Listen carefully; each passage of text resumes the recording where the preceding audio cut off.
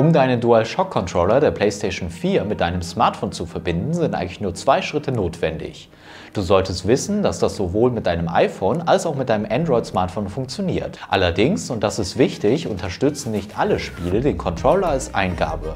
Nimm jetzt dein Smartphone zur Hand und aktiviere Bluetooth. Gleichzeitig musst du den Controller in den Pairing-Modus setzen, damit er sich mit deinem Handy verbinden kann. Drücke und halte dafür gleichzeitig die PlayStation und Share-Taste oben links für etwa 5 Sekunden gedrückt, bis dir der Verbindungsmodus durch die schnell blinkende LED auf der Vorderseite bestätigt wird. Wenn du interessiert an weiteren kompakten Erklärvideos über die PlayStation 4, aber auch über die neue PlayStation 5 bist, lohnt sich ein Abo auf meinem Kanal. Gerne kannst du meinen Kanal auch mit einer kleinen Spende unterstützen. Jetzt wechselst du wieder auf dein Handy und findest hier unter den Geräten in der Nähe den DualShock 4 Wireless Controller, mit dem du dich verbinden kannst. Der Vorgang ist abgeschlossen. Starte jetzt das Spiel, welches du spielen möchtest und beginne mit dem Controller zu zocken. Möglicherweise musst du jetzt noch die Steuerung mit dem PS4-Controller im Spiel konfigurieren.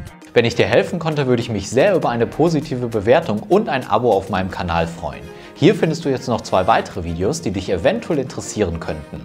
Ich bedanke mich fürs Zusehen und sage bis zum nächsten Mal. Tschüss!